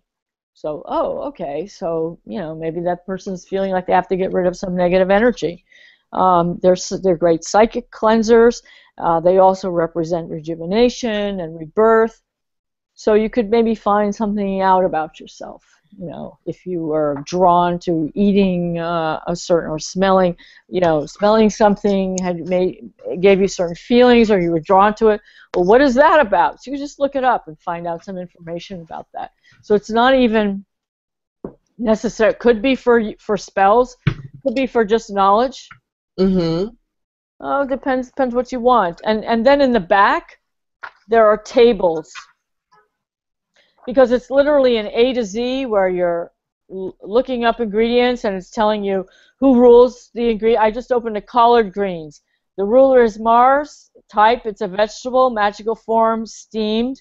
Eat this vegetable on Tuesdays to find work during the week. This is a fast luck formula and draws money making opportunities quickly, though you must be willing to work for it. Awesome. Awesome, right? That's And really then and then in the back there are the magical tables. So here you could just look and it's got a list of like a magical beauty table, magical communication table, magical creativity table. So in other words, you might feel like you want some creativity. You know, there's a couple dozen items listed, but then you could look up a particular item, go back and look it up and see specifically what is that for. Uh, Right. Maybe it's for you, maybe not. So, you know, my my idea was just again, it's information. It's a lot of information, but it was also to help people be creative and and have confidence in their creativity right. to create their own spells. Right. And I just had to ask you though, what is the bacon for? Because I was looking at the different, you know, herbs and fruits and vegetables. You've got everything, such a well-rounded list of things. And I saw under B was bacon. And I was Bacon. wondering, you know, what would you, what would you be using the bacon for? What would I empower it for? Well, I mean, well, now they're saying some very bad things about bacon, right? But I don't think I don't think that's going to stop people from eating. It's not going to stop people. I eating right. Bacon. Well, bacon is sacred to Adonis, the god Adonis. So I'll just read the, you know, the little blurb here. So the pig is considered unclean in Jewish and Muslim beliefs, but by most pagan accounts, it is regarded as a symbol of prosperity. The pig or boar is a sacred totem animal of Adonis, the Greek god of vegetation and renewal, who was sacrificed annually to ensure the fertility of the earth. The expression bringing home the bacon refers to making money. Eat That's right. bacon to increase earnings. Smear the fat or grease on your body to remove marital tension and forgive adulterous affairs. Wow. There's a little bit of bacon lore. Well, I probably won't rub the, the fat. you know what? If you wanted to be, if you wanted to be forgiven for stepping out on your man, you might. That's right, you know what? I might. We're not doing that. You never know. You never know what you might do Right. until you're in a never know. situation. You never know. You never know. Um, yeah. So who knew, right? You didn't. You didn't know that. But that bacon is very sacred. Adonis. I He's a love ma- bacon. major player. And in reading with all of that, I wanted to kind of ask you because everybody's talking about either shampoo and conditioner and different things for their hair and their skin. So I wanted to kind of have you give us a you know a couple of herbs, good herbs that you can use to improve your skin and your hair. Believe it or not, beer is very good for your skin and your hair um, because most beer contains hops. And actually, now there's some beers that contain all kinds of, like there's, you know, beers with orange in them and all, all kinds of uh, different herbs uh, or, or flowers, let's say, you know, including, including the beer. But hops is good for the hair and good for the skin, and beer is very good for protection. So, if you, uh, in other words, you can take a beer bath. You just fill the tub with water, put in a quart of beer, soak in the tub, minimum 10 minutes. You gotta like pour it over the hair, let it stay in- in there. I mean, it's diluted, right, in a tub of water. Uh, but this is to get rid of the malocchio, the evil eye. That's fascinating. And you just really took me back 'cause I'm searching my memory banks. I remember, like, in the 80s, you used to add beer to a shampoo or something. Yeah. Yeah. But I do remember doing that, and I'd forgotten all about that. I really had.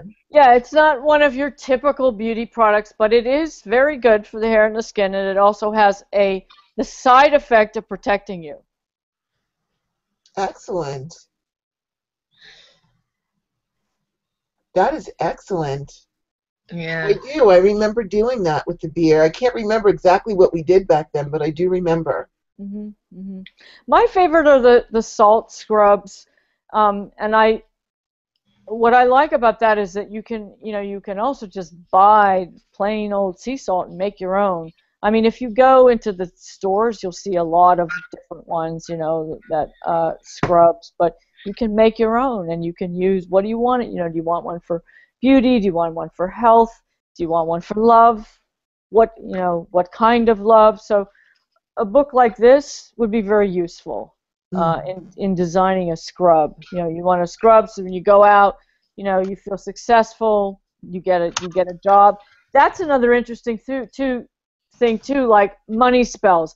How many money spells do you think there are? So you have the same thing going on. Like what I did it before I wrote this book, I did a lot of analyzing of love spells and money spells. So when you look at a money spell and you look at the ingredients, you've got to break it down. Like, who rules these ingredients? And in most money spells, let's say like generic money spells, uh, you'll see Jupiterian ingredients. You want to be really careful with Jupiterian ingredients. Jupiter is great, Big Daddy, right? But the thing with Jupiter is Jupiter brings expansion. Jupiter brings more of whatever you have. So if you have nothing, you're Oh, going to get more of nothing. Okay? So you you you want to understand your situation and you want to work a money spell. If you have nothing, then you want to work with mercurial ingredients, maybe Venusian ingredients, maybe w- work with the new moon energy if you have a lot and you you know want to make more of it you have a business and you're you know you're about to open stores in 10 more locations that's jupiter magic. That's when you want the jupiter magic. But you've got to have a ball rolling before you go near jupiter. So and i talk about that in this book and so i help people to to, to choose things. A bit more wisely with what the different Exact- spells. exactly. Got it. I'm actually glad that you brought that up because a lot of people don't realize that about Jupiter. And I have, you know, one of my friends is Virgo, and Jupiter is in Virgo now. Yes. And she was very excited. And I said, be very careful because Jupiter is going to expand whatever is going on in your life. And she's got so much going on. And now, ever since Jupiter went into Virgo, it's just gotten out of control. Right. You know, and that can happen. You know, when Jupiter goes into our sign, we get very excited, like, yay, you know, good times and money and all these things. But first, we have to clean the lives up so that we actually get to have the expansion of the things that we want, not the expansion of the abyss that we're already in. So yeah. Exactly. you took the Exactly. to explain that because most people, unless you're truly into astrology, most people don't know that. They just like Jupiter, the good t- let the good times roll, let the money roll in, and then they're wondering when they're even broker than they were before. Well, what happened? Well, There you go. Jupiter came Exactly. and did that too. So it's really important Yeah, your if you're, mind, if you're, if thoughts, you're in everything. debt, if you're in debt, you don't want to use Jupiter. Right. You don't. Yeah. Very good point. So, Goddess Starr, we have time for one more question. Oh dear. What what do so which one did you want to work Oh, with? okay, you know what? Actually, it was my turn to ask a question. This brings us back. this brings us back to You, you two are such a great team. I just have to say, you're, you're a great goddess You're, team. you're like a tag team, right? it's true. It's true. We do. We just kind of roll along with each other and feed off of each other. It's a very what's this? We're codependent kind of relationship between us, but. This actually kind of brings us full circle because in the beginning we were talking about lettuce, and then my question was, what kind of a spell can one create with lettuce? And you already answered that. You talked about um, Oh. money. So I'm going to go ahead and let Starr ask the next question. Okay. Now, um, you also have paella listed. I hope I'm saying that right. I've Paella. never had it, and I've heard people say how a Oh, wonderful So taste. good. So, Paella. what kind of spell can you create with that very tasty dish? I'm going to presume it's tasty because people talk about it all the time about how delicious it is. Girl, you got to go out and get some paella. I can't Absolutely. I can't believe that you have never tasted No. paella. That's it just looked like so many things. Yeah, it is so many things, so many good things. But actually, uh, most of most of the ingredients are Venusian. oh, okay. So, but you know, and this is more like a summer thing. But uh, the ingredients that I have: yellow rice, vegetables, sausage, chicken, and sea, seafood. So they're all pretty much much uh, Venusian. Uh, so essentially, eating this uh, is for happiness, good fortune, and long life. What could, what more could you want? Exactly. Exactly. I think that's what we all want. I wish, you know, I really hope that you will come back to us again because we have so many of your books. I have still a million questions left to yeah. ask you. And so I hope that you'll come back with us again in the future to talk more about your awesome books. I would love to. And if we could just let everyone know um, that the new book is out, right? And if anyone want to visit my website, I also do readings and uh, tarot and astrology consultations. And please give us your website. Yes, I was just going to say that. It's Lexa Rosean, L E X A R O S E A N dot com. Awesome. I have to tell you, Goddess, you are truly just a walking encyclopedia. And I was looking at your Basically, stuff, and really, you take things beyond what other people do because you're the only person I've seen really go into the astrology. I really, because I use of That's your thing, planetary and astrology magic, I so appreciated that. No, I've never seen anyone say, be careful of Jupiter. You know, I'm always saying it, but I've never heard anyone else, and I just want to applaud you because people will look at that and they think, "Hey, Jupiter, let's do that," and then they end up worse off. So you're really responsible in your teachings, and I really do appreciate that. Appreciate that. Yeah. Thank you Absolutely. for, for recognizing that because I, I think that's really important. Yeah. It's, you're a wealth of information as always. Thank you so what, much. what is like practice safe hex? yes. I love that. yes. That needs to be on a bumper sticker, I think. It does. It does. Yeah. All right, well, we've only got a couple of minutes left, so we're going to go ahead and close out our circle. Hail and farewell, our lords and ladies of the elements and the directions. We thank you so much for your kind service and release your energy back to its source, and blessed be. And Goddess Lexa, thank you so much for being with us. I can't wait for you to come back to us again. I've already ordered, just looking at the table of contents, I've already ordered three of your books and I'm, I will have the entire library probably before the end of the year because I was so impressed, and I don't say that lightly. Yes. I was just really impressed. Thank you. Thank you, Goddess Rhonda, Goddess Starr. It was a Oh. pleasure. It was a pleasure spending the evening with you. Absolutely. Thank you so much The again, pleasure Lexa. was ours. Blessed All be. right, everyone, merry meet Merry part and, and merry meet Meet again. meet again. thank you, everybody. Have a great Bye. night. Bye. Bye bye.